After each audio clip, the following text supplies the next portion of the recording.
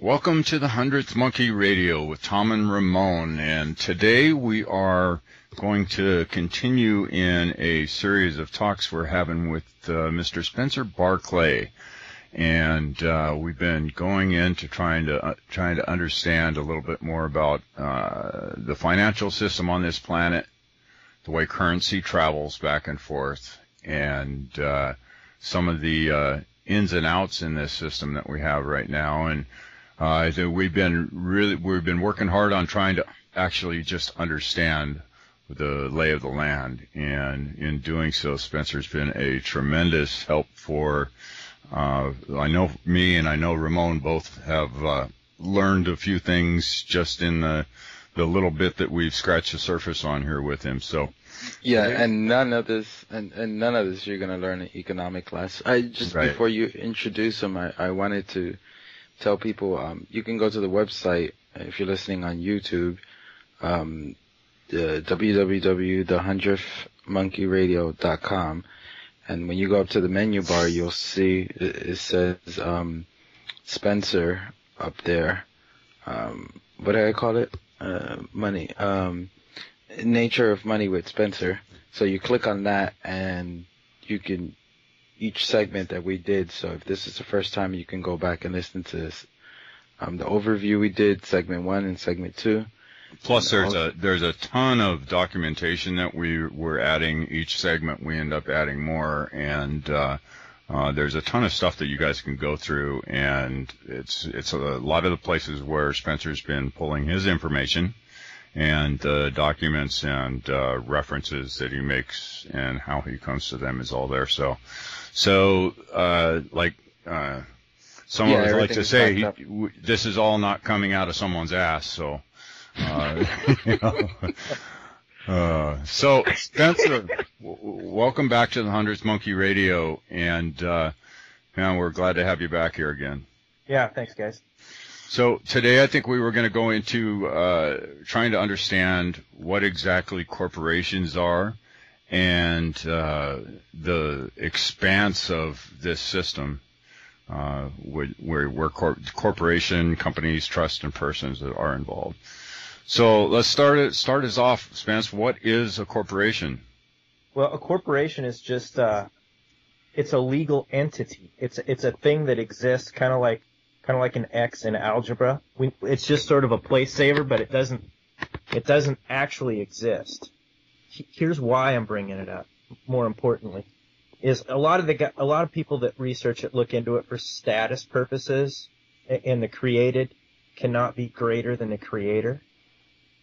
And, and so there's some things to talk about in terms of status there later, but that's not why I'm bringing it up. I'm bringing it up for, uh, because something that doesn't exist cannot create something that does. You know, uh, an idea cannot create like a hammer, right? It can't create a gold bar. It can't create labor. It can't create something that's real. Right. And so, in understanding money, sometimes uh, there's there's a there's a fallacy or a uh, urban legend's not the right term, but there's a, a, a false Um, concept. Misconception. Yeah, yep, that the government creates money, and and it can't. And so we have to understand the nature and character of fictions and and how they operate and why they operate, and, and to see what they really are, and and then once someone has their mind around that, then it's not just believing someone say, well, the government can't create money. If, if you don't know the nature of a fiction, a, a fictional entity, then, then it's a, then it's a leap of faith and, and it's just founded in belief and, and belief being not knowledge. Right. Okay. R- real quick, I want uh, something that's that just popped into my head while you were saying that. Uh, creator versus created. Now, is there some uh, uh, law precedents that this is based on, or is it just uh, based on natural law, or what's what's that? Yeah, it would just be reason or maxims of law. And I'd have to dig for the exact one. You know, maybe we can pop that into the uh, the text later as far as which which exact Okay. it is. Okay, but there, this is this is something that is referenced and uh, in some form or fashion is uh, written down? Well, probably not. But just as an example, the created isn't greater than the creator. I mean, if you have uh, a 10 year old child, he doesn't wake up in the morning and start snapping his fingers and calling the shots for the parents. You see, there's just one example of, of, of the created. It isn't greater than the creator. And at some point that playing field will level out, but that, it's just, uh, it's just founded in reason and, and, and all those, all those fundamental elements of reason are listed in maxims of law. Okay. So let me go find that separately. You kind of catch me flat-footed there. Uh, as far as okay, well, well, well, we can dig that that up, and uh, you know, I don't know if you uh, happen to poke through it during our conversation. That that'd be great. Maybe you can talk on it later, okay. or or we can just add something to the uh, to the show page here uh, where it's referenced, so okay. people can take a look. Yeah. So back to corporations. Yeah, so they're just a, a fictional entity that that have rights and duties ascribed to them. And so let me just kind of lay out, there, there's, of the four main types of fictional entities are, are corporations, companies, trusts, and persons. And a person can be something like a sole corporation, and, and I'll give you a quick example. That would be something like a mayor or a bishop, an ecclesiastical office like a bishop, where it, it that concept exists in, in perpetuity. It just it, it, would just live forever. Right. And, and various men would cycle through it and have that position of mayor, or have the position of uh, bishop or cardinal or something like that. Right. Right. And and that is really quickly chases back to the roots of corporations, which were, it, it's kind of arguable, but there, there's definitely a common thread of, of opinion with researchers that research a, common word in, in the Middle Ages for, for research that was done well before them is antiquity. And so there's a, a guy named Coke and Blackstone and, and these guys were, were legal scholars, you know, several hundred years ago and and they're noted for chasing back corporations to cities. And if you look up uh, the defi- a good definition of, of city now, you'll see that it's just a corporation. And and that corporation of a city might have uh, a, a specific geographical jurisdiction. Right. But then everybody inside of that is not necessarily a member or a citizen of that city. And so, uh, real quick, we'd probably get into uh, the distinction between societies and communities. Because you might, within a very small geographical community like a small town, where a community is a blend of all of the societies, and in, in that society, those societies, you might have something as uh, maybe controversial as as as the Freemasons, uh, or the or the Elks, or the, a society is is a group of people that that are band together with mutual consent for a, right. for a common purpose. And, and they, and they can be as, let's say, as large as the United States as, as a society to be a United States citizen. Right. Part of that society as well, but it'll have many communities inside of it. Right. But, uh, a corporation is, uh, kind of started with cities and, and, and people banding together, uh, and, and thinking of the group as as a separate entity. So if you had ten people in a community, and and, and the, the city would be thought of as as an eleventh entity, eleven an eleventh person. Hmm. Again, clearly it wouldn't exist. You know, if there were only ten people in the world, and or maybe twenty, you know, you got two separate two separate societies. Right. Yeah, you, there there would be t- twenty two entities, ten and ten, and uh, of individuals and then the society would be a, a third or, or a, a secondary uh, concept. So when was the legalization of, of the official corporations? Do you do you know when that happened? Like like in, in, in the number of hundreds or thousands of years ago? Oh, is that what you're asking me, or just recently, like on the uh, in the United States history? So Western society, yeah, corporations. I knew I, I know uh, they had to have some legal structure set up to call themselves a corporation, or is this just uh, something that has always been type thing. Uh, the formation of of the sort of corporation that we have right now. You know, Yeah. like Well, corporate. Well, first of all, it's got to be made public. So, so the first element of due process is always notice, and, and you could boil down due process to purely notice. But let's not get into due process right now. right, but right, so to give you an example, we might be rushing ahead too far. We could bounce back and forth, but the United States of America, small u, a- as it was first established as a republic, was not a corporation.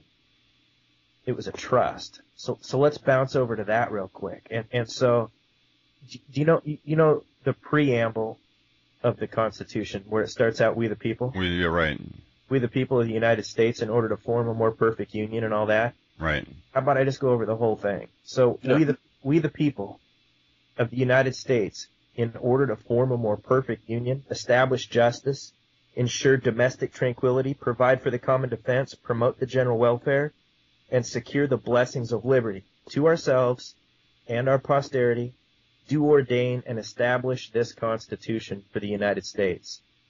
That was made available publicly right, and it was just well you know how uh we, now here's how we do make things publicly public notice is to file things in the county recorder. You, you know how it used to be done is you used to if you had something to say you'd go tack it up on on the most public place you could in town. Right, and a lot of times that would you'd go nail something to the wall of the local church. And uh, that's what martin luther did when he started to rebut some of the things that those guys were doing was he just went hey guys that, that's what you're saying well he didn't have a podium or a, or a public uh, venue to speak per se so he just went and nailed his stuff to the to the church door and that wasn't anything that was generally accepted on the community it was just pure raw principle you have to make your stuff known publicly if you want it if you want it to be a public issue. And so he went and nailed it to the door.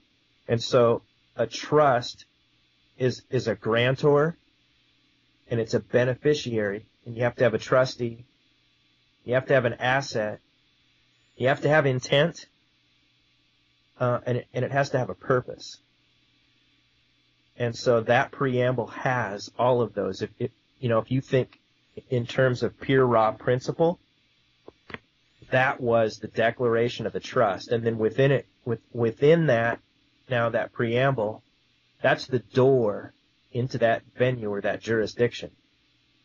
And so attorneys argue that the preamble is, it, it doesn't mean anything. All of the meaning is inside of the Constitution. Hmm. And, and that's true if you're already in the Constitution. If you're already under uh, or below that jurisdiction. That's true. Uh, but when we see that the created can't be greater than the creator, at some point someone had to create the Constitution and had it, that form of government had to be created. And I think that's a threshold that a lot of people have a real tough time getting their mind through and, and getting it through that threshold accurately.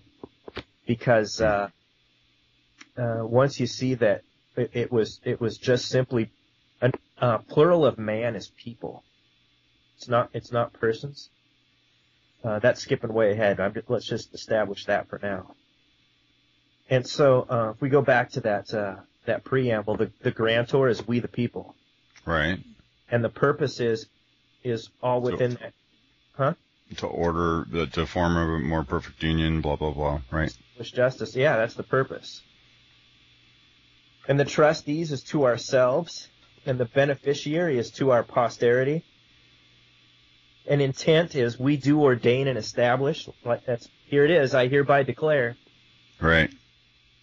And then the asset can go both ways. It can be back up in the purpose in order to form a more perfect union. So, so the more perfect union would be the asset, and so would so would uh, justice and domestic tranquility. Those are all those are all assets within it.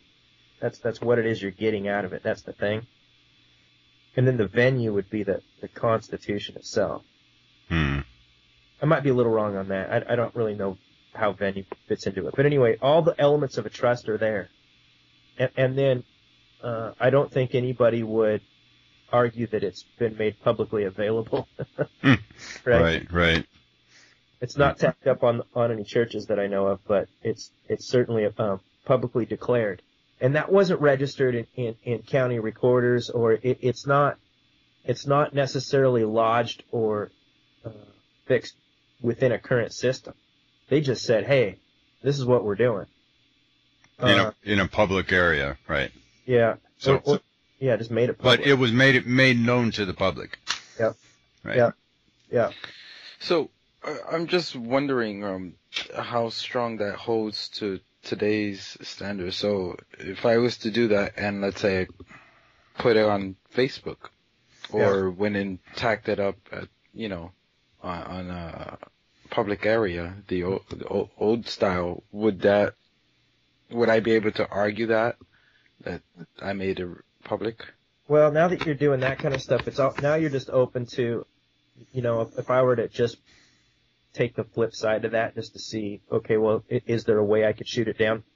The first thing that pops into my mind is is you you want to use the venue that's most public. So um, I can't imagine anybody would say Facebook is the most public way to go. Right. Most people for most people use uh, the newspaper now, right? Well, that's Uh, one. there's tons of legal notices in the newspaper. There is, and here's where that came out of is, is as the U.S. expanded west, the, the uh, newspapers were, were were very sought out because there was there was no other information available, and and the communities were so dynamic that that a newspaper was the o- that was the only way to really communicate to somebody. Right. Uh, and, and so that at one point was the most prominent way to go. And, and though, even though things have uh, evolved now, and I don't know that most people read newspapers, but it's still a very accepted way to make something publicly available, especially since you can look up contents of a newspaper on the internet. Right. Uh, I think the cornerstone of public, uh, what's publicly available is, is typically at least the county recorder. Uh, I'm just wondering because, for example, like we have the hundredth monkey, and we have a like page, which, in order to look at that page, you don't have to be on Facebook. You can just log on to it, and because there's so many people onto it, so I'm just wondering if that would fall into it or. Sure. It it might. I mean, but you'd be exposing yourself to because it's not. That's not generally accepted across the community. That if we want to look for uh, official public notice, we look on Facebook. That's not something Right. that's, I- I would say, generally uh, known. It might Okay. assist. I mean, if you were to say, "Hey, look, at I I attempted to make something publicly known," you're Well, also what about the guy that got arrested for saying something about what did he say, Ramon? Firearms and had firearms in the government in the same paragraph or something? Yeah, the ex-military guy. I, Yeah. I mean, that's probably going a little far. Um, That that away was from the already topic. far out. Yeah, but I, I I see your point because there's been like guys who got in trouble in the military for saying certain things on Facebook. yeah. So would that be? That's why I'm wondering if it's being considered public or not. Uh, I don't know. But once you're in the military, uh, you you've assigned all your rights a- away and, and traded them for privileges, and you uh, there's a, there's a master servant relationship going on there. Uh, a guardian ward relationship is probably a better way to put it, and, Yeah. and you all fall under the Uniform Code of Military Justice.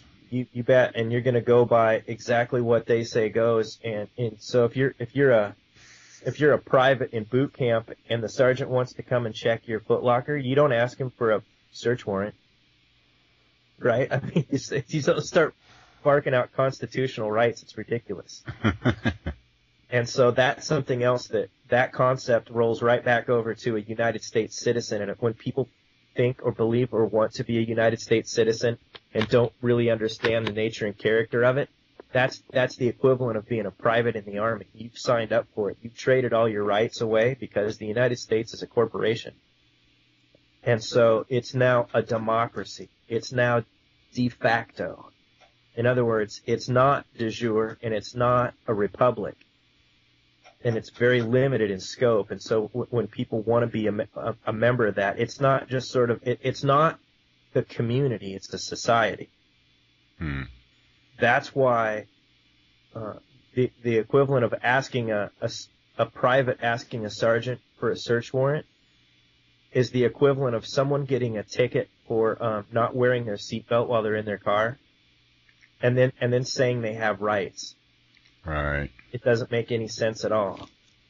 And so, one of the things when people don't understand their status and don't understand how those types of things get imposed on them, the instant they go off in the wrong direction in front of a judge, that's what they get.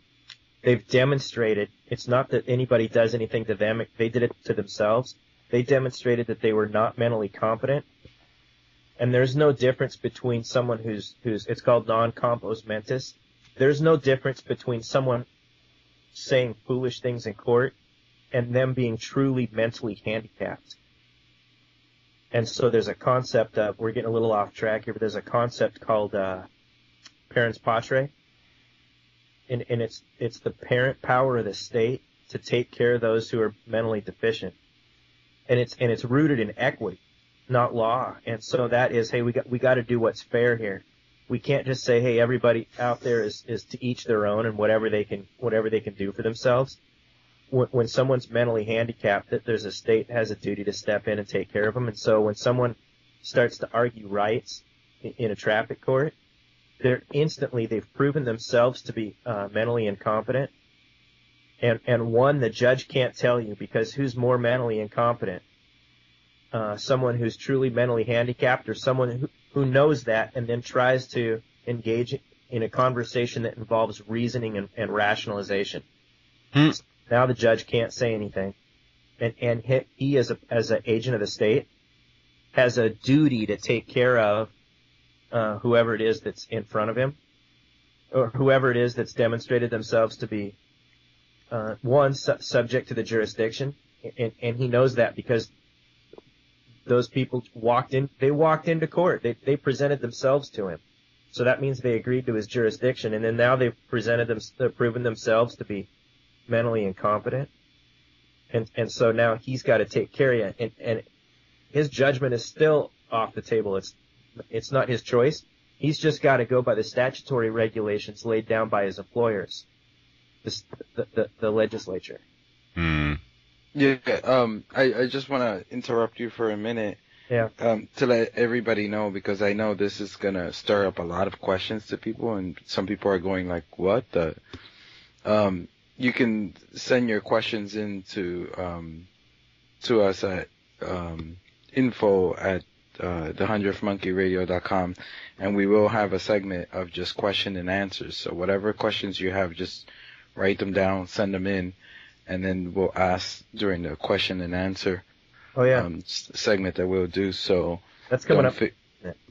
yeah, don't feel like uh, um, you know you're completely lost if you don't understand certain concepts. Plus, we also uh, on the on the website we also have uh, under the uh, the link for these this series of shows there is a comment section there. So if you want to jump in there, you can always do that. Yeah. So please continue, Spencer.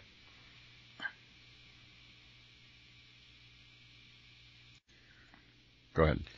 So uh, I guess we had like a little snafu or something weird, but um, what we were talking about was when people go into court and they show themselves to be uh, mentally handicapped.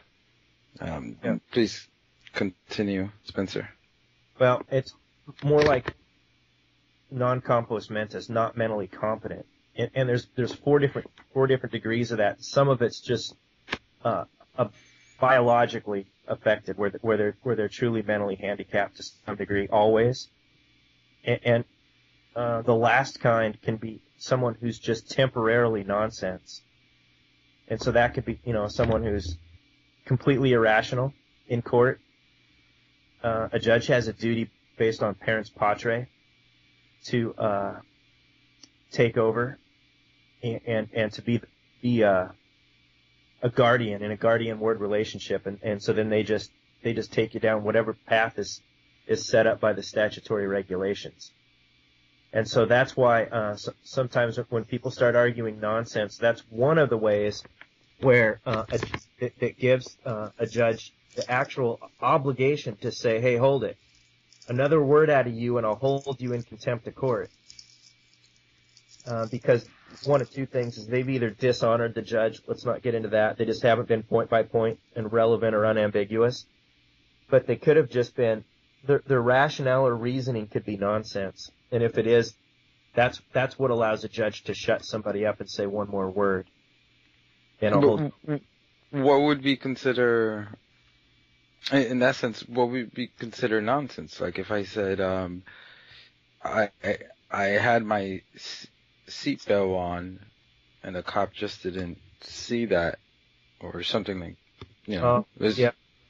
Okay, so so now now here's what you did is you just skipped over the, the major unspoken premise, and you agreed with the judge that you had a duty to wear that seatbelt. You just, and, and, and not only that, you did have it on, and now it's just a, an error in, in the in what the policeman is reporting, and Yeah. that's that's different. Now you're not arguing rights. What my point is, sometimes people go in and argue rights and say, "Hey, I I have you know there's freedom. I don't I didn't hurt anybody."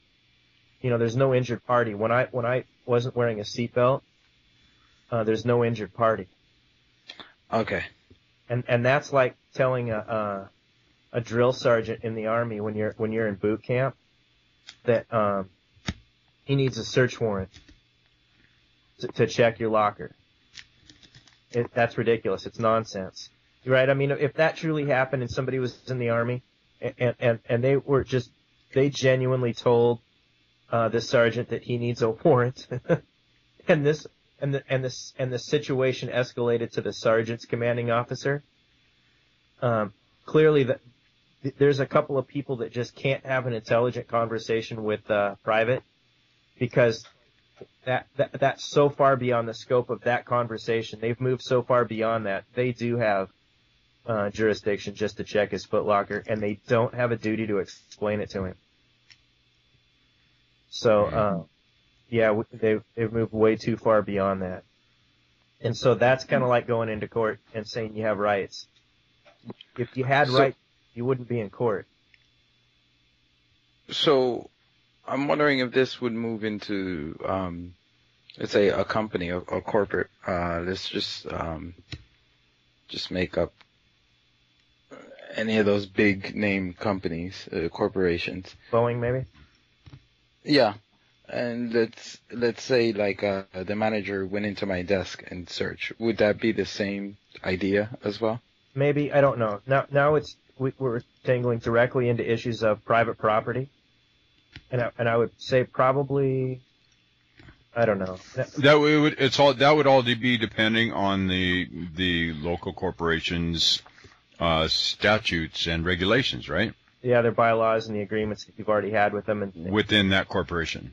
Yeah, Yeah, because you usually sign like a type of contract. Because well, But- in the military, in the military, you're basically you you'd sign all your rights away. Yeah. Right off the bat, you sign on the dotted line to join, your rights are gone. You Yeah. now belong to the United States government. Yeah. So that would probably be in the employee's handbook, uh, or or the uh, the, the employee uh, employment agreement, and and a lot of that might go back to the some of that might go back to the charter of the corporation, Com- company policies. Yep, yep, Okay. yeah, which just goes back to contract. Right. Uh, but uh, anyway, within corporations, that, I kind of got. I, I, I probably shouldn't have spent so much time on uh, on that parens patriae thing, but uh, no worries, we understand it a little bit better now. yeah, good. Yeah, I, I didn't know some of those things. So Uh, and there's a difference between a corporation and a company. Now, and, and now here's something else too. Is I'm I'm speaking from a point of view of before. I'm not looking at this through the statutory eyes, through what a current conventional attorney hyphen at hyphen law, which is all one word, and it's different than an attorney at law for three different words. How they see it, because they're going to refer to whatever the statutory regulations are within their system. And, so if you try to define what companies and corporations and trusts are, it will all be redefined and we're not using words through that, we're using terms. And there's a difference between a word and a term.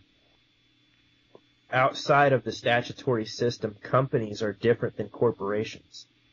and a, and a company is very, very, very akin to a partnership where you have just individual men with that that act uh, together for a common commercial or business purpose. And and one of the qualifications is each is agent for the other. And there's no corporate shield. When, when you su- if you were to sue that company, you would be suing all of the individuals, joint and several.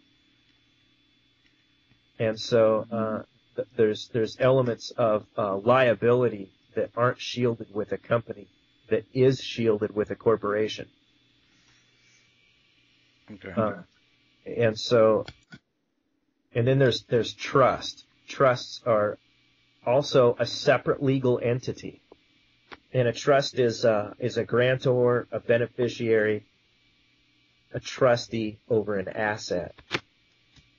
And, yeah, to to uh, create one, we have to have in in the declaration we have to have intent, purpose, and all that kind of stuff.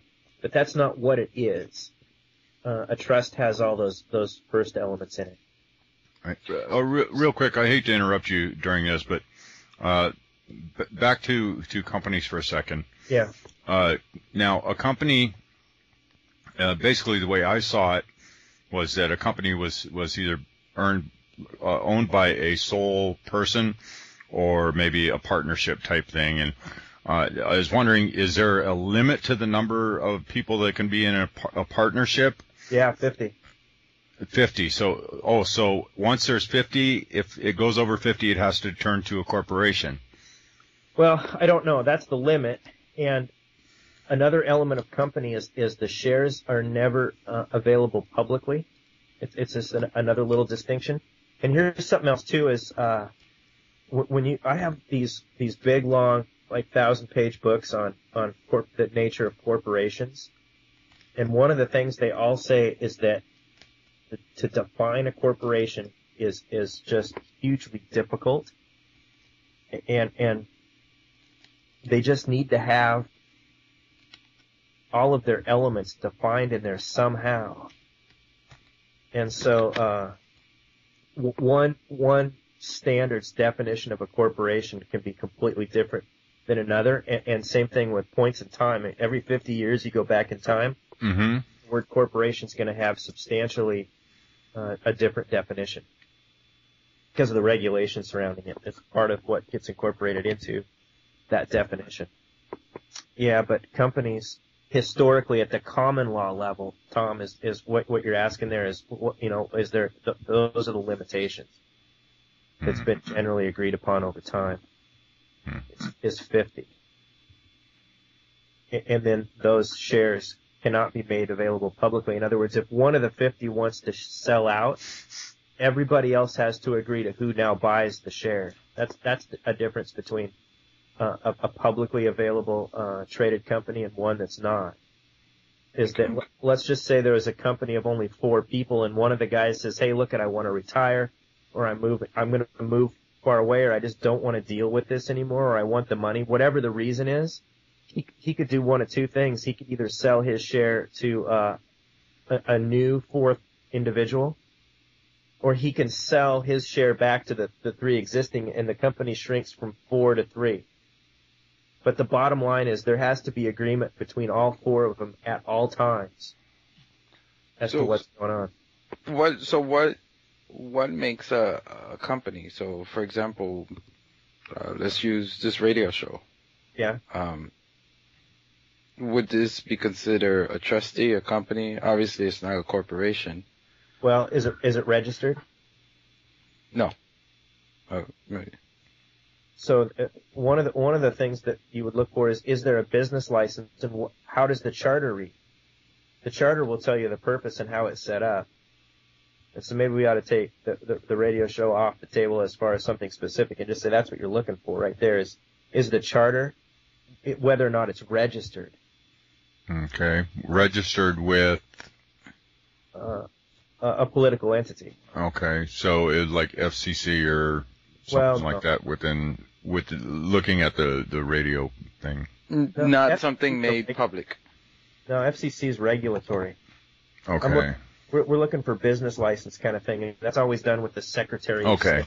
So any registration of a, if you register a business license, that makes it uh, qualifies for what you're talking about here. Yeah. That, uh, well, that tells us what to scrutinize, and, and that's always that kind of stuff. Will you can't register a company? You got to. You know what? That's partnership.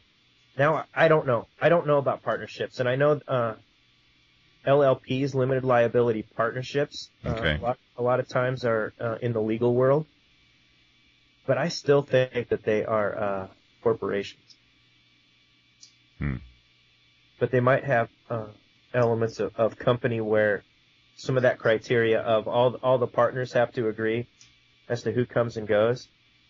That definitely sounds like a, a law firm. Hmm. I don't know. I don't know how statutory and, and company all folds into it. Okay. That's way too technical for and beyond anything I've cared to look into. Okay. What uh, the reason I want to the reason I wanted to look into this kind of stuff is not to, to really get down into the to the depths of this kind of stuff. It, it's just to see that it's something that doesn't exist. First of all, and and and the created can't be greater than the creator. So here's how if, if we want to think of something that doesn't exist, if if if Tom and I both owned a, a coffee stand, an espresso stand, and uh, we were 50-50 partners on it, and we both worked the same hours. We worked open to close, and the two of us showed up for work one day, and the place had completely burned to the ground. And and let's just say it was called uh, City Espresso. If if the next week we got a an insurance check for the for the fire damage, and we opened up business at the same intersection just across the street, and we just continued to call it City Espresso, it would have that none of the the assets would be the same. Uh, It would be physically completely different. And the only thing now that's the same would be that the two of us are still are, are still participating 50-50. And then let's say at the end of that year, if if over time uh, both Tom and I each individually and with agreement, you know, no controversy, but we just we each sold out our 50% partnership to another two owners it it would still be conceivably called City Coffee. And now there's nothing physically is the same, and maybe the hours changed. It's at a different location, and there's different people, and yet it's still called City Coffee. See, that's once you once you start to eliminate every little thing about a, a company to see, okay, well, what's the same about it? It's the only thing it's the same is is the idea, the name and the charter, the paperwork registered with the state. Hmm. And, and so I'm kind of going through that little exercise to show that uh, a corporation does not exist. I mean, you can't bring me five feet of Coca-Cola, or you can't go bring three pounds of Nike over to to analyze, or to you know, you can't go three quarts of of uh, IBM. It, it just it physically doesn't exist.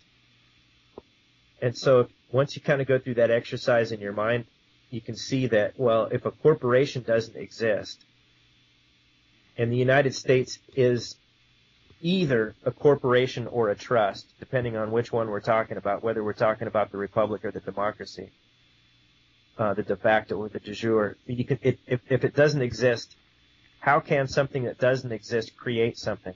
And it can't. It, it's, it's the people working and functioning within the system that do all the creating and that's that's one of the real big mysteries. That's or or the or, or the frauds in the system that people kind of don't see that, and and so if a, a fiction can't create something, it can't create money. That's just one of the things that I, I wanted to bring up to, to eliminate from the, the, the conversational table, so to speak. Because if the government if, if the government can't create money, sometimes people say, well, you know, the government creates creates this, or even the Federal Reserve creates the money. Federal Reserve can't create anything. It's either it's either a trust, a company, or a corporation.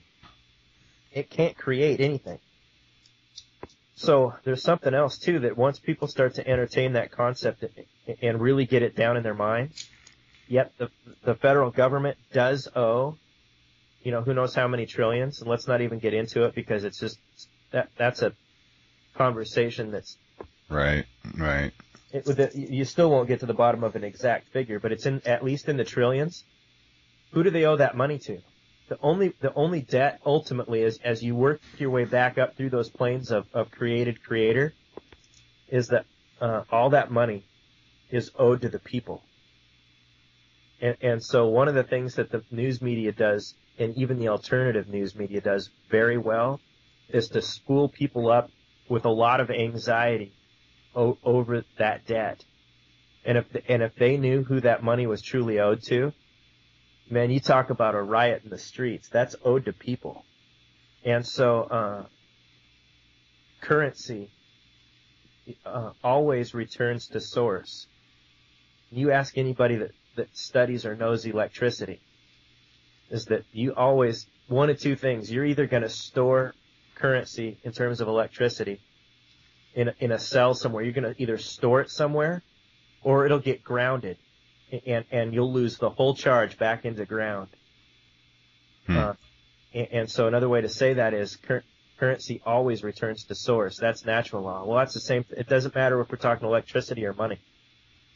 And that's actually something that I started a very brief conversation on with uh, a guy named Jason Verbelli, and I want to finish that because I don't know the electrical side to that concept as much as I do the financial side. Uh, Well, maybe- though I'm sure there's some some distinct parallels there. Yeah. Uh, Maybe we'll bring you guys both on because I s- that would that would be an interesting uh, conversation because that's I, I don't think anybody's ever gone there. I said something about that directly to him when I met him this summer. And I said something about currency. I don't remember now exactly what I said, but I said, hey, currency always returns to source. And, and I was specifically and deliberately referring to, uh, money. The, the words I chose were deliberately so that he would see the parallel with, uh, in electricity. And he was, it, it caught his attention. I don't Hmm. remember his exact reaction, but he, he paused for quite a while when I said that. Little uh, flabbergasted, maybe. I don't know. I, I, I don't know exactly what was going on in his mind, and, and we were kind of having a back and forth parallel on. We had so many topics going that, you know, I don't remember exactly how that conversation played out, but I remember saying that to him, and it definitely caught his attention. Yeah. So um, I I, I want to move um a little bit into persons, um because I think that one would probably blow people's minds the most. Um, Yeah, so I think we understand corporations, uh, companies, and the trust thing as being a non-entity, but uh, a fictional entity. Yeah. Uh, but person, how how does that break down? Well, that's a that's a hybrid of of two uh, Latin roots, per meaning by, by way of, or through, and uh, son is short for uh, sonus, uh, s o n a s, uh, for sound, and it's and, so it's it means by or, uh, or by way of or through sound, and it was a ri- a person was very uh, it was generally well known that that was the name that's that would be the, the word we would use for character in in in Latin and, and old Italian plays characters we use the word character they use the word person. Hmm, really? yeah. So it's kind of it's kind of uh, obviously the use of it's morphed a little bit. a little bit. But there's there's been some l- legitimate segues into it. And so the person you would say the person of cardinal or the person of mayor they're a person. Whoever is filling that role is a person and it's just absolutely literal and true it's just that they're functioning as that character and so Mhm. an- one one of the other sort of euphemisms or, or, or, or definitions that was meant in Latin was mask. Uh, I don't know where you're going to see that. Maybe in Webster's 1828. Uh, So I, you know, I I was always under the assumption that person was just a uh, uh, individual. Another yeah another word to uh, you know indicate a, a an individual. Yeah, no, and so that's why you'll never see it in statutory regulations. Whenever there is when the government is um, saying, "Hey, we are the authority and we're telling you what you can and can't do," they always use the word person. A person shall not do this or a person shall do that because that because a U.S. citizen is that character that they're talking about. You almost never see the word in, in, that, that refers to people, and, and people is uh, derives from the concept of just the population. And when you think of population, that's real. Those are that's physical, tangible. That's not abstract character stuff. That's that's absolutely real. Right. And so, uh, you know, here in the state of Washington, I'm I'm at Washington. I'm not in it. In it is sort of a a, a grammatical trick to say that you're in a in a in a corporation. But if you're located somewhere physically, you say at. And so if you if I'm at Washington, that means I'm I'm physically located with, at in that geographical area. And when you say you're in it, you're saying I'm a I'm a corporate fiction inside Hmm. inside of that corporation. That could be a nasty trick that somebody could play to get you to concede to jurisdiction, right? Right. Yeah, absolutely. I can see what, so I can see the judge saying, uh, do you live in the state of Washington? Right. Yeah, a real Yep. easy one to, to not be able to see. Right. Uh, and so very, very, very rarely do statutory uh, language include the word people. But it does on occasion. And so I just dropped a link into in, into this uh, window here. I don't know if you guys see it. Yeah, I got Yeah, I see it. Okay. And so what I said was that when, when the government is saying, "Hey, look, at we're, we are giving a command to that plane below us, the created, or the creator is giving a command to the uh, created," they use the word person. But in this in this particular uh, statute right here, they're not giving a command; they're just recognizing something as truth, and they use the, Should, they use the um, word. I was gonna say, should we um, read this really quickly so people know what we're talking about? We'll, Just we'll read the, a, read the first sentence. Okay, um, I'll read. Uh, the people of this state do not yield their sovereignty to the agencies that serve them. Yep. Hmm. A- And that's that's another way to sort of triangulate and look at this thing of the created are not greater than the creator. Because here what they're saying is the agencies that serve them are I mean that could be the police departments, the, the public agencies. Right. The people do not yield their sovereignty and sovereignty just means there's no higher authority. It doesn't mean that you have subjects underneath you. Right. It just means that you're not in a master-servant relationship. That's why the term uh, sovereign citizen doesn't make any sense at all. A, a sovereign, Right, right. Because if you're sovereign, then you're not going to be uh, subject to uh, uh, an entity that creates the situation of you being a citizen. right, right. It's yeah. Now some people say, "Well, I'm this, I'm a citizen of the republic," and uh, uh, uh, I, I think it's just, uh, I think that's nonsense. You- you Well, can't- there's not really a republic here. Well, and citizen is, is, is rooted in, in civil anyway, and so now we're back to uh, a, a civil system. Right. So, I I want to go a little bit into the um, uh, what's that called? This um, correct me, Spencer here. Uh, strawman, lien strawman. What is it? Um, Well, I don't know. strawman lien? Strawman lien. No. Oh, no. oh. Or where are you going, Ramon? What's this Uh, have to do with person? Uh, a lot. It's the the the law called the. Oh, what is it? It's something like straw lien or strawman lien or lien strawman. Well, the concept of strawman is definitely uh, something that's been around for quite a while. And so a straw man is something that doesn't exist until some something else comes in to take the place of it.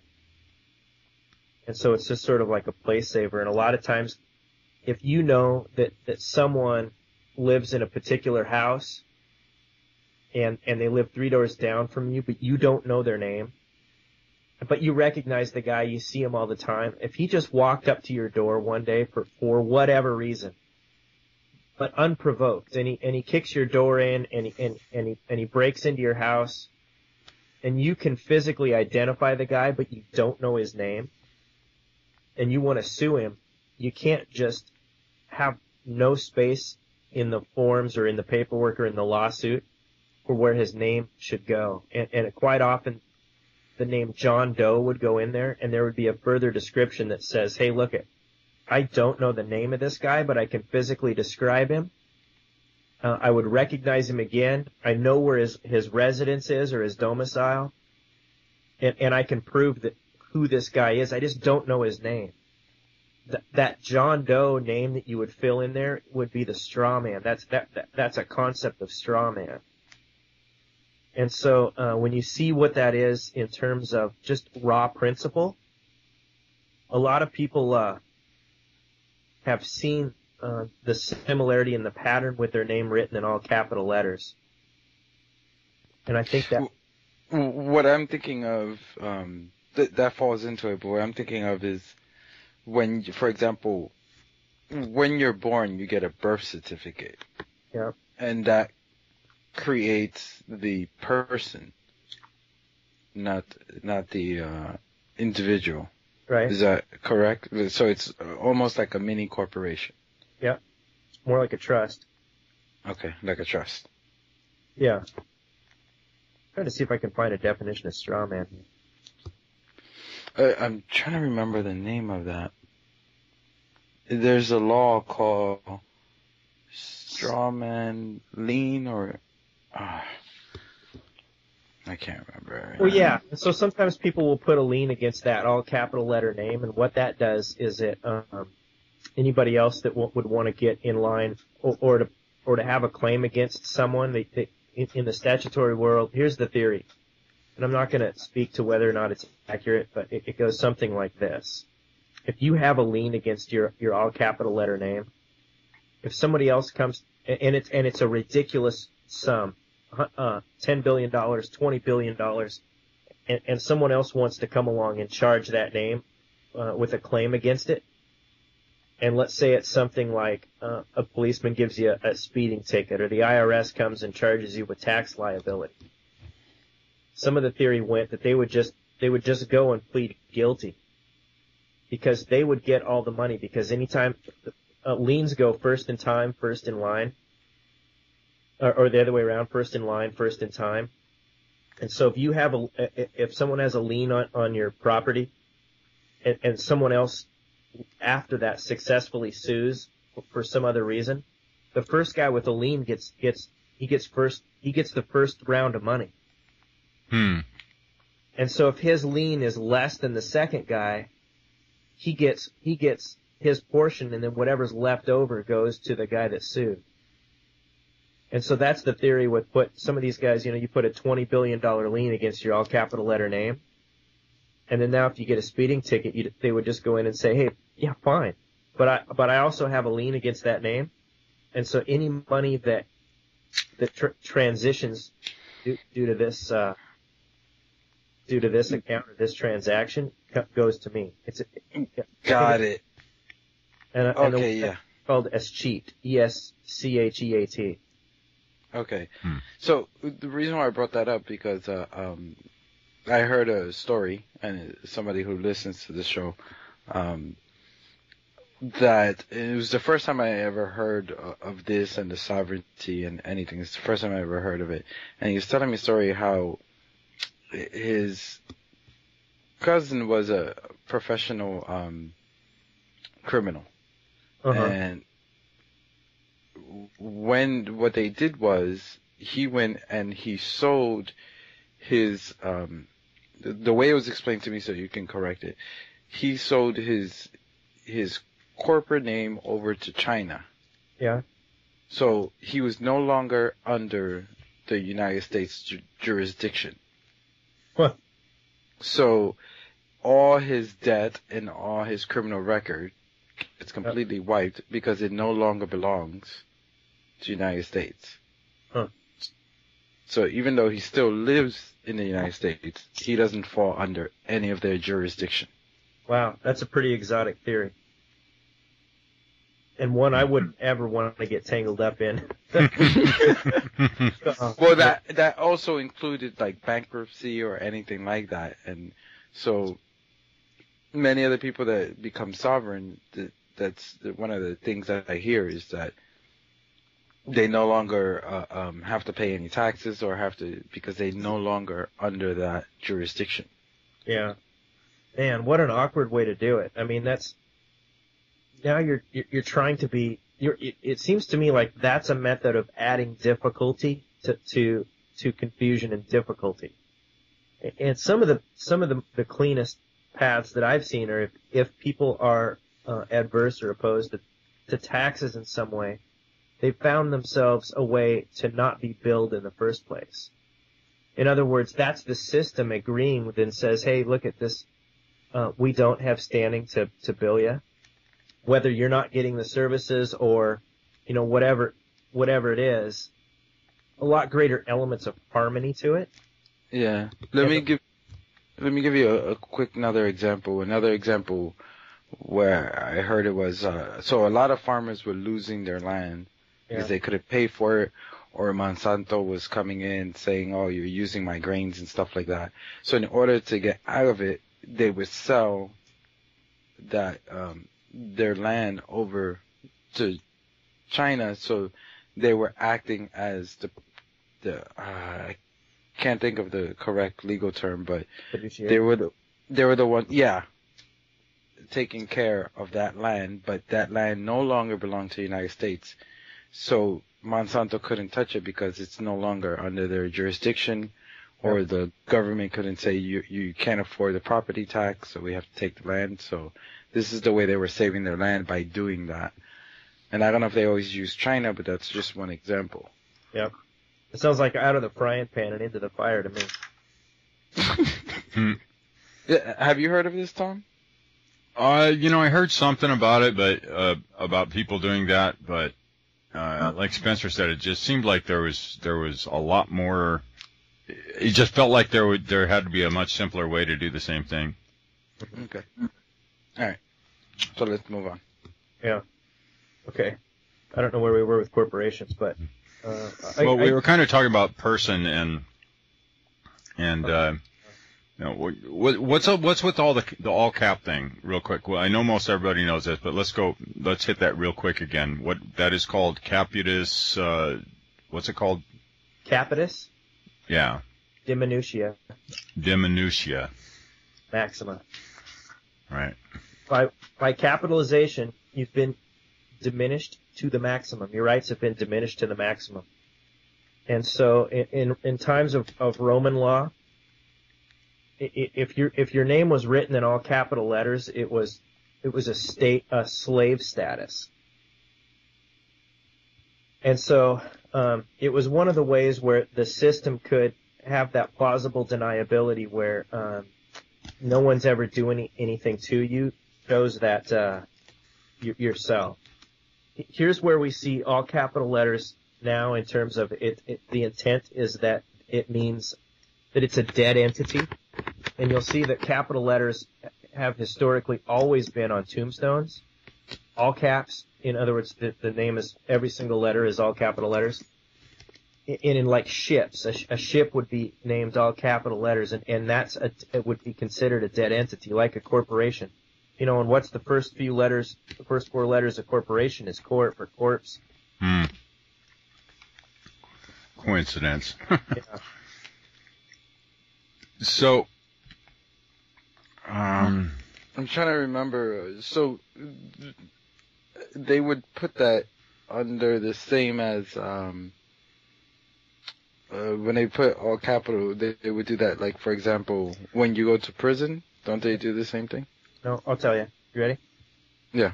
So as here's something that one of the things that really had a eureka moment for me was that, that it seemed to that Rome that Romans had an inordinate interest in conquering and spreading. The Roman Empire was just way too excited and way too motivated to be conquering. I mean, why why does anybody want to go to war that bad? It just didn't make sense. When I started to look into this capitis diminutia maxima, which in, in, in Roman law books from the 1800s, I can give you a bunch where, where they just openly and explicitly discuss this stuff. Status. One of the books people can go look up is called The Trichotomy of Roman Law. And, and that book is explicitly talks about this kind of stuff. I don't know if you can find one in paper. If you did, it'd probably be a thousand bucks or something, but there, you can find the PDF online. You know where to look. Or get a hold of you guys, I can pass it along. Hmm, okay. Yeah, we'll post this on the page. So once again, um, you don't think that uh, we're pulling this out of our ass. Okay. So It's So gonna be the theme of the show. So here's what's going. Here's what the, you know. We use the, the, this concept of Roman law, but that's how.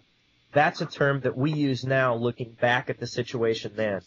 So when you look back at what was going on in the Roman with with some of these laws, that didn't apply to their citizens. When when they would go conquer another nation, it was as if upper management just defeated upper management of, of another organization, but the Romans did not have jurisdiction over the people that they conquered.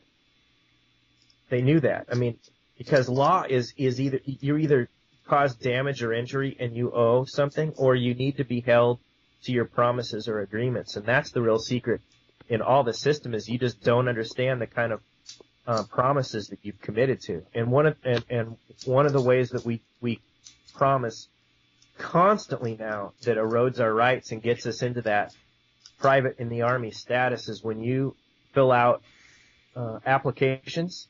And so when you submit applications for registration or submit applications, those are little agreements and you don't know the, the words and terms. And, and you did it to yourself. You confessed on yourself. I'll give you an example. Uh, if you look up the word male or female in a, in a good law dictionary, something that's old, not, not quite as sanitized as newer Black's law, you'll see that uh, male and female specifically refers to either animals or slaves. And look at every single form that you fill out, or, or sorry, application that you fill out for the government. They always want to know if you're male or female. right. So what they're asking is, they're, they're, the, the, the major unspoken presumption is we know you're a slave. What's your what's your gender? No one ever says I'm neither male or male or female. It's man or woman. No one ever corrects it. Well, that I know of. I mean, it, but that's just one of the. That's my point with they they, they provide documentation for you to confess on yourself as a, as a slave status, and Hmm. so that was the trick back in the in the Roman times is when they'd go conquer another country, they would you know they'd find out who all the people were with a with a census, and then provide their names in all capital letters, and they'd say, "Is this you?" And they'd say, "Yeah, that's me." Well, they confessed on themselves. They didn't know that the intent on the other side was that uh, of what what they meant by the all capital letter name, and so that is the filling out those forms, or, or to to get people to uh, to to commit through oaths or whatever those secret tricks were to get people to uh, subject themselves to a lower status. Right. So this this has been used uh, quite a bit, hasn't it, in court as far as arguing sovereignty, Ar- Yeah. arguing argue, arguing uh, not sovereignty but uh, jurisdiction. jurisdiction. Yeah. And so that's the trick, and that was the motivation for the for the Roman Empire to expand like it did, is because they would just they get people to just fall right in line, and the judges know full well, hey, look at if if you've agreed to do something, you damn well better do it. That's why contracts are so powerful, and that's why contra- you a lot of times contracts are completely unknown. You know, adhesion contracts, you just never knew and so that's why those are so important. But uh, So th- so the whole thing about you know arguing, uh, I guess it's arguing ignorance in a courtroom. Yeah. Uh, so going in and saying, okay, you know that's not me. I wasn't aware of uh, you know the type of argument I I wasn't aware of what that meant. yeah, Uh, How do you how does that get argued in a courtroom like that? I, you took it farther down a path than what would probably be successful. okay.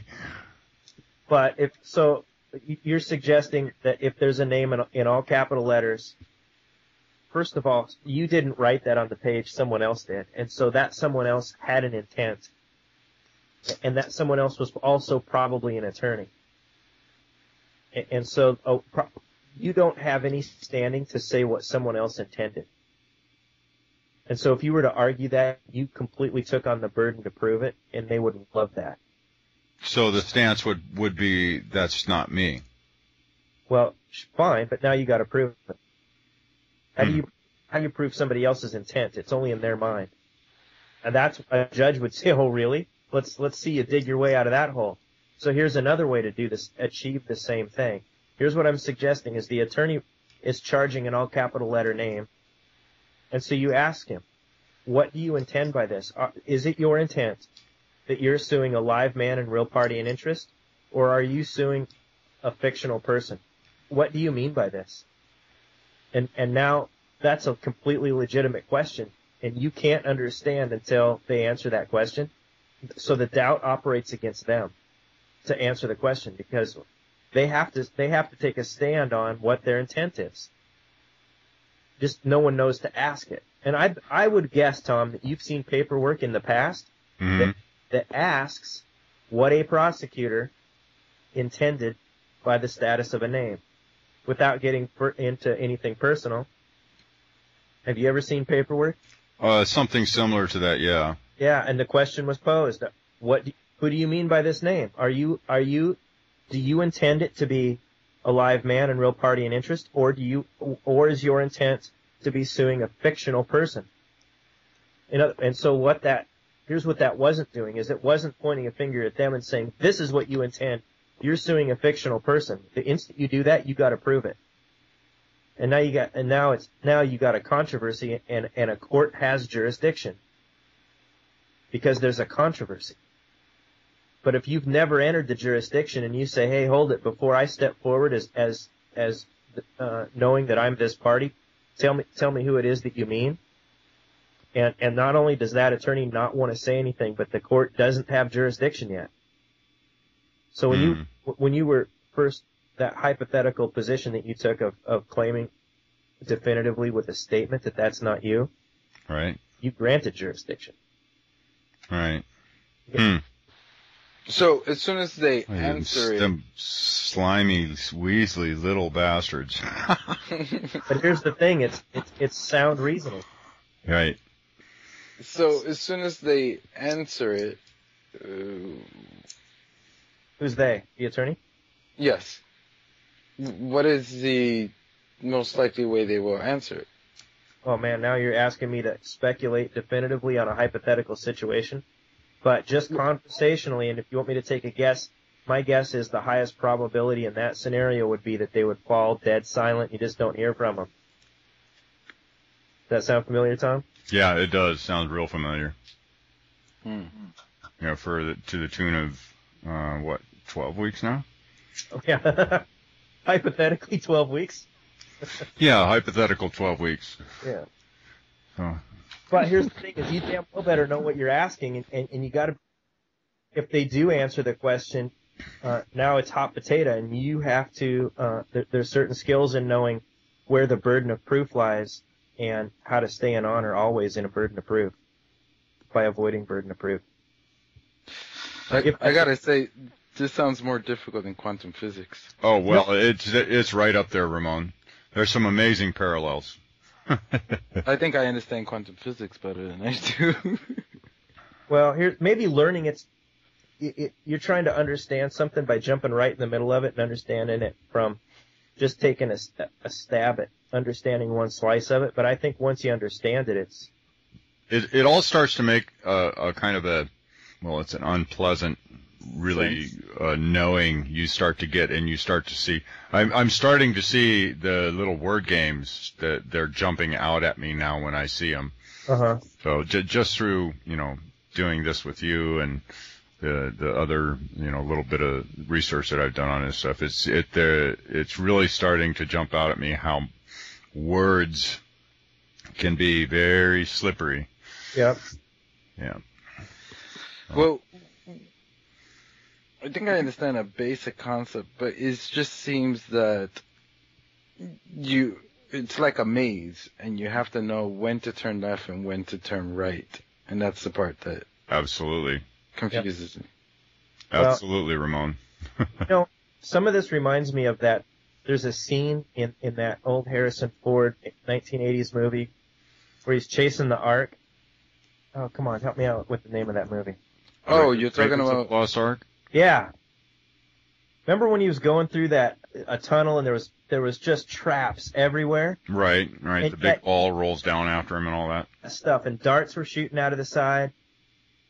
He was dodging and weaving those things, and he had knowledge of that uh, of those traps before the audience did. You know what I'm saying? I mean, he they didn't get him because he knew he could see all that stuff. He knew what he was looking for. And so once you once you do that, once Right. Once you've been through this and have been shown, th- then it's not that tough. But It's a certain common sense that grows out of it. A Yeah. common sense in relation to this. Yep. Yeah, that, that's what I'm thought. Uh, that's kind of what I was trying to explain. Is what I'm starting to see is I'm starting to grow that that financial or that currency and and corporate common sense. So okay. So uh, we're, let me we, try we and should come up with a name for that. So let's say, um, let's look at it from a boxing point of view. If someone drops their left shoulder, is most likely they're gonna jab. So it's Oh. kind of like that. So you can anticipate that they're gonna jab because they're dropping their left shoulder. well, I'm not seeing the parallel yet. It, Ramon, it, it becomes it, it it's a combination of, of instinctual and knowing the way the types of games that are played. That's what I mean. knowing- That's what I mean by yeah. the boxing. Because you're reading the body movement before you see the hand move. That's what I mean. Okay. Here's something else too: is all here, most people are not trained to think in terms of principles, fundamental principles. I'll give you an example of a Right. principle: is is um, whoever brings the liability is uh, is obliged to bring the remedy. Right. That that's a formula that, that you can apply to see well who's the debtor and who's the creditor in a situation. You can even take that as as far as a car accident to, to see why it is that if somebody smacks into your car, they owe you something. Well, whoever brings the liability has to bring the remedy. And that's something that a lot of things that people don't see when it's, let- let's say it comes to taxes, when someone bills you for taxes. I have not spelled out enough context for this to make sense yet, but with the IRS, whoever brings the liability has to bring the remedy. And so that's that's something else that people don't factor in when they're trying to figure out currency and, and, the, and the bigger, the big, the biggest picture of of money and how it works. It's kind of funny when you do. It is actually kind of hilarious when you do. Yeah, well, learning your way through It's like, oh my god. Yeah. Uh, so I, let me. I didn't take any notes or anything. Let me think back through the uh, this corporate concept here because what I'm really trying to show is that a corporation does not exist, and something that doesn't can't create something that does. Right. And so I'm just trying to remove that from when when people are trying to figure out, well, where does money come from? You, you can take corporations, including government, off the table. You can take you can take the Federal Reserve off of it. Now, they might they might print the claim checks, the tickets to money, which is just the Federal Reserve notes. You know, they can print those up, and yeah, they're they're being created on on, on their directions and orders Right. but it's not the corporation that made it, so you can't say that that's what made it. It always boils down to individuals. Right. So I think, uh, correct me if I if I get this wrong. A lot of the the purpose of of these first few segments that we've done have all been designed to really try to get some fundamental views of how you look at the system down within our consciousness. I mean, because if we can look at this stuff and and look at a corporation, look at a company, look at a trust, look at a person, and see that they are and know that they are an actual fictional person or fictional entity of some form, then that actually puts us in a completely different level of consciousness and how we deal with everything. If we can get that to a point where we know this stuff, it's not just uh, maybe uh, this sounds, you know, uh, sounds like it could be right, blah blah blah. It looks right on paper, but when it gets to a point where you really know that that's a fictional entity, the way you deal with it and the way that your your your confidence level and how you deal with it completely changes. Yeah. Yep. And you know, talk. About, you also have to understand those planes of the created can't be greater than the uh, than the creator. Right. Let's just say you wanted to sue. You you can sue or bring lawsuits or law cases either against something on the same plane, or or on a plane below, in in terms of created and creator. But you can't go up. Right. And so you absolutely have to understand that concept if you're going to go into a court that was created and established by the government. Let's not let too many wheels spin there, but just just see that for just that narrow scope, and then try to sue something uh, up channel, like let's say the government itself. That's one of the reasons that the United States can't be sued except for with its consent. That's somewhere in the in the statutes is, is how do you use their courts to, to sue something that, that created it? Hmm. And so that's why you have to understand jurisdiction. And when you understand jurisdiction, the concept of it, that also helps to kind of triangulate some of these concepts too. Right. Also, when you know that in a country that doesn't use gold as, as a medium of, of circulation, and someone were to try to sue the private central bank, that private central bank is the creditor to the government. So, so they're a plane higher. And so you can't go and, and sue something that's superior in terms of status than the court itself. The court itself has no authority over the situation. Right. It would be like trying to sue something in a local municipal court, like you would try to sue, uh, sue the United States in a in a local local courtroom, right? Yeah, because one is one is, is is registered and created out of the other, and you're trying to go back up channel. Right, and right. And some of the reasons, some of the four ways that you can you can get jurisdiction within a federal court is that there has to be uh, diversity between the parties. I don't know if you've ever heard that, and and that's that's one of the colorable ways to say there has to it has to be someone of a different status there has to be diversity. That's a clue that hey, there's a there's a status issue here that we're really going after. It's not just it's not just a physical geographical location. We got somebody from California suing somebody from Ohio. That's not what it is. I mean that that that might be a, a vague element to it, but the real issue is is that within that catch-all phrase of, of diversity, we can we can in, include the concept of and hide the concept of status. Hmm. And so if, if you were to try to sue a central bank, you'd have to very much be aware of, of the jurisdiction of the court you're using. Hmm. I, I don't want to have to think too much yeah, on Yeah, no, no problem. Yeah. So, so we've got corporations, companies, trust, and persons. Those are the four main categories in this, uh, the fictional uh, entities that uh, we're dealing with when it comes to our currency. Yeah. Okay, let's see. Let me look up person real quick in, in Webster's and, and see what see what particular uh, entry fits the concept that we're because I know that in Webster's dictionary it's it's the most explicit I've seen as far as a generally available uh, dictionary. Here it is, and it has a lot of different entries to it, and some of them are uh, a man as opposed to things. A person as a, this is Wikipedia. A person as a being, such as a human, that has certain capacities or attributes constituting personhood, which in turn is defined differently by different authors in different disciplines and less formally by different cultures in different times and places. Uh, so what do you want it to mean? well, um, I'll drop I'll drop the link in that I'm looking at right now.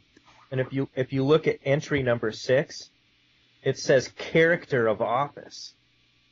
And uh, in number eight, it says in law. So it's specifically when we're considering things in law, it says artificial person, an artificial person. Right. A corporation or body politic. Yeah. Yeah. Hmm. And so that's one of the that's one of the ways that intent is kind of hidden is is just purely within this one definition. Person has it looks to me like it has 11, 11 options. So, so which one, when you say person, which one of these? And you know, Ramon, you and I were speaking one time and you were saying, well, a Japanese character in terms of writing, the written, the written language, a, single character may have many diverse meanings. And, Yeah. and, and so I, I, I mostly just listened to what you had to say about the Japanese language, but the whole time I was thinking how unaware people are that, that that's the same case for, for the English language, and we're not taught that. We're not taught that any single word has a multitude of meanings. Like this person right here has 11 definitions, and that's just one dictionary. And so any, whenever people use words, we're, we're trained in school for our minds to flash to a single concept assigned to that word, and that's it. Right. And we're also discouraged from um, asking questions as to the disparity of potential meanings. Well, uh, let's let's go in. Um, let me see if I can find it really quickly. But what would be the meaning of individual? Well, when who uses it? A word doesn't have meaning. Only only people can assign meaning to it. So, are, let me ask you this: are, are, is really what you're trying to say? Are you trying to say what's the definition of it? Uh, I, don't guess so. I yeah. don't understand your question. Well, so the definition of one of the most powerful ways that I've seen in in law is that w- when they use the word individual, they are completely hoping that you'll say you'll think of an individual as a noun and not a verb. Sorry, a noun and not an adjective. An individual meaning singular. Well, singular what? Right? Oh, they're saying only one, but but it still begs the question: one of of what? What status are you referring to? So it, it's that's one of the most evasive definitions I've ever seen. I've kind of chased around the definition of individual, and and the Mhm. IRS likes to use that term a lot. Because I, I'm sure there's a lot of other people out there that, um, because person has 11 different meanings, and then you have individual. You just explained that one. So, what are you? Well, it depends on for what purpose. I mean, if you're uh, when you go to work, if if you were a radio host, you'd be you're you're the, you're that person at that point in time. You're just sort of filling that role. Um, but you can always have the choice to say, "Hey, look, it I don't I don't choose to." The, the term is create joinder. You don't have to create joinder all the time. I mean, once the role's over, the role's over. Hmm. Like someone who who is a, a policeman is a person, but it doesn't mean that they were born a policeman, right? When they were born, they don't say, "Oh, look, here's a policeman." I thought for sure we were going to have a fireman. I, I'm being ridiculous. It's it that that character, that choice of, of who that that role that they fill, it is is something that's temporary and fleeting all the time. And so the instant you're not actually acting in that capacity, you're you're not that anymore. Right. So the the the proper word is obviously from derives from the uh, situation that you're in, and there's a there's a certain element of knowing the correct definition of who you are in a certain situation that keeps you within your your sovereignty. Yeah. Well, then there's also the concept of um, whoever feels the benefit ought to feel the burden. And so if, if you directly feel the benefit of, of some certain character or capacity, you also ought to feel the burden. And so that's something else too is uh, there's, you know, if you go to, to a restaurant and you order a meal and, and the meal is wrong and, and, and, and you say, hey, listen, you, you call the wait staff over or maybe they're still there and you say, hey, this is, this is a steak. I ordered a salad. If you correct, if you point out that their error right away, you're not liable for the price of the steak. But if you eat the whole thing and then, and then say, hey, wait a minute, this isn't right,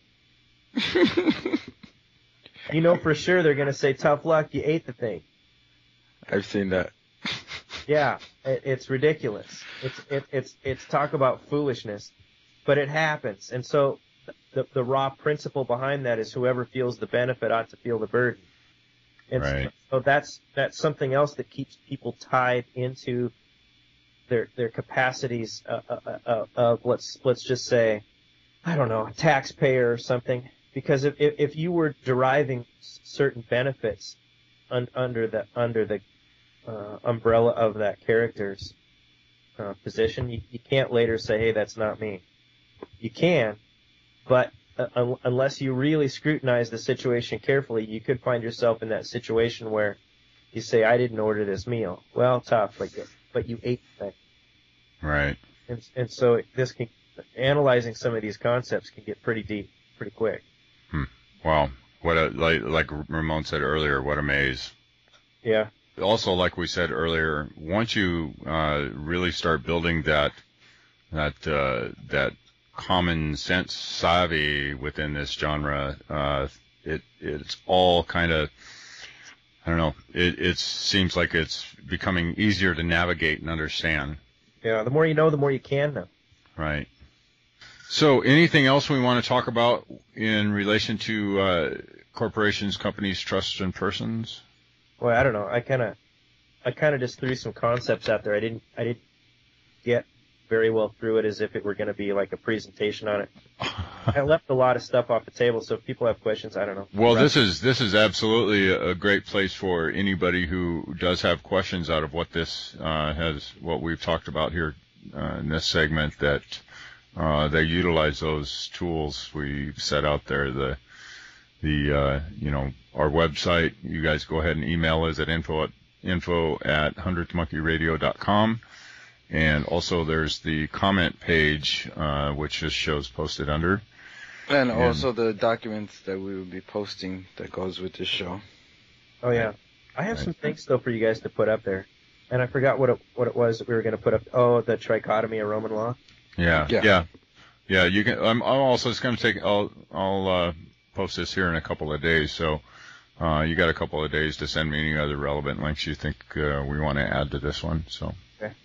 You know, somebody asked some questions on there. I don't know if you went over and looked at that. I yeah, I did. I read through them just the other day. Uh, I don't remember exactly what they were. I'm going there right now. Maybe we'll, we can uh, bring these up on the air too. That'd be good. And I I answered those while while I was skyping with someone else, and I didn't proofread them after the fact. So I'm kind of second guessing myself a little bit right now, but Okay, real quick, real quick. I'll go ahead and uh, one of our listeners, Julian, asked a couple of questions here. Uh, number one, you mentioned how creditors had no risk or loss. Could you elaborate? And I think that that answer ended up like all the way at the bottom. So I, I did label it number one though. Oh, right, right. Uh, see you stated on here, currency that originates for a commercial loan from a financial institution comes from the U.S. Treasury. It is then sent to the bank where you got your loan. The bank had no skin in the game. The currency used for the loan was not property of the bank. They essentially received their inventory for free. Now this is uh this is that's the basic creation of money in the system, is it not? Yeah, that's one of the methods. And and so what I'm saying is is that the bank is just a pass through. Uh, it was just a pit stop for the money to pass through it, and and yet from the borrower's perspective, it would appear as if that's where the money came from because they don't see what's going on in the in, behind the scenes, behind the curtain, so to speak. Okay, another question he asks here is uh, when an individual gets a loan, what is the property that exchange hands on both sides? And the response was, at the point in time of a loan being approved and before the currency is applied to a debt, the property in the funds is exclusively that of the borrower. He is actually the creditor. Everything in commerce is in the mirror. Then you gave a link there to a YouTube. Yeah. Uh, so, uh, this is this this uh, popped trust into my mind for some reason. Now, is this drawing on the person's trust? Absolutely. And, okay. And, you know, trust can be uh, implied. Right. And so an implied trust would would be if if Tom, if you called me up and said, "Hey, uh, there's there's a guy that lives right by you, and he and he's got a check there for me for a thousand bucks. Can you pick that up on your way over to my place?" that's a trust, and it's an implied trust, and, and we didn't even see it um, be created, or we didn't pay any attention to it. But there's an asset, there's a grantor, a beneficiary, and a trustee. And, and so whoever wrote Tom the check is the grantor, and Tom, you're the beneficiary, and the check is the asset, and I'm picking it up just for delivery. I have no right to the thing. I'm, I'm the, uh, I'm the trustee. Right. And so uh, that that happens a lot when you go into court. That if if you know that that's a, a sheer raw principle of trust, then you start to look around and say, "Hey, I wonder if there's an asset here. Well, I wonder if there's a trustee. I wonder if there's a beneficiary. I wonder if there's a grantor." And all of a sudden, when you see those elements being filled by someone in how they act, all of a sudden you can see where resulting trusts just show up and, and then evaporate. Right. And then once you get, once you're able to identify those in a real life situation, you then uh, know how to actually address each one of them for their perspective or, or respective positions. Yep. Hmm. It, it, like I said earlier, it's all starting to, to coalesce in my the way I'm looking at this myself. So, okay, number three. How would you make? How would someone make use of a ten of the ten commercial maxims in order to protect his claim or any other situation where they are beneficial? And the response was, "That's such a broad question. It was yeah." Tough. The only rights you have are the ones that you claim. Rights are abandoned in a flash. Every offer you get is worthy of a counteroffer. Understand the maxims. Then again, there was a link to a uh, uh, belligerent claimant. Oh yeah. Thing. Did you uh, read? Did you see what that judge has to say about rights? Uh, I did not read it myself. No. I don't remember. Uh, Judge James Al- Alger Fee yeah. The pr- privilege against self-incrimination is neither accorded to the passive resistant, nor to the person who is ignorant of his rights, nor to the indifferent thereto. It is a fighting clause. Its benefits can be retained only by sustained combat. Hmm. That's what I mean by offer and counteroffer. Anytime you you get an offer, it can disappear. Whatever rights you just claimed a second ago can disappear. And that's what he's saying also. Mm-hmm. It, it, only by sustained combat. You, the first to leave the battlefield loses. And that goes for anything, whether it's a war, a game, or law. Right. That's uh, and where was that one out of? That's uh, freedomschool.com belligerent claimant. I don't know. It's it's uh, I, I bet you can find that in a lot of places, but that's a that's a quote by a judge. Okay. That I I, I, I was thinking that had to come out of some ruling somewhere. Yeah. I think it's even a Supreme Court. Hmm. Okay, uh, number four. I understand that my labor is my property and my labor is measured using my credit. How can I gain access to more of my credit property without the nonsense of someone demanding payment as if they are creators of the property that I created? And uh, the response to that was another. Uh, uh you put a link there to the Cornell Law U.S. Uh, Code.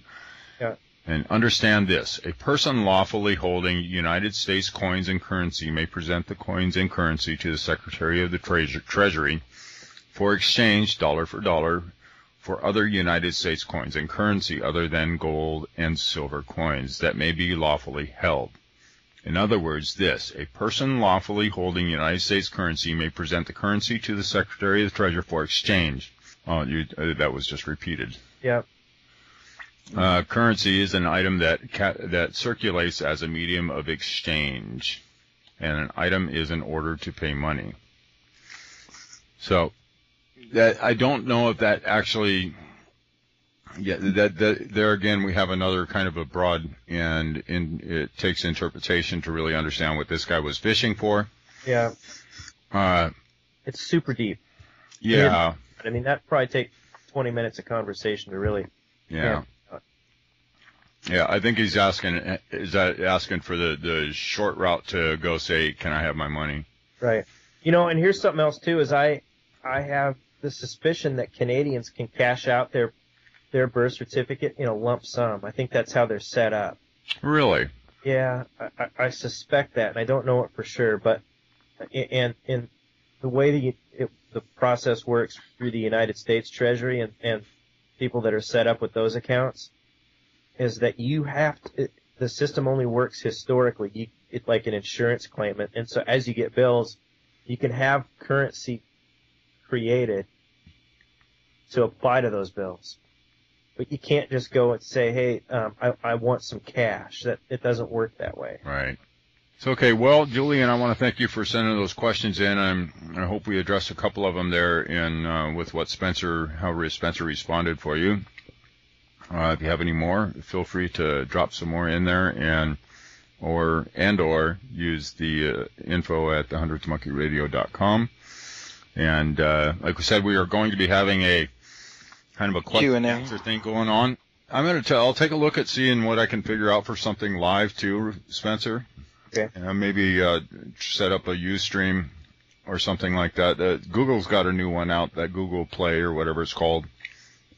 That's uh, looks like a pretty decent uh, chat room area for uh, video conferencing. So uh, I may look into that, but and I'll I'll do that here in the next few days, and we'll uh, see if we can't get something set up and on the website and get some people to join us.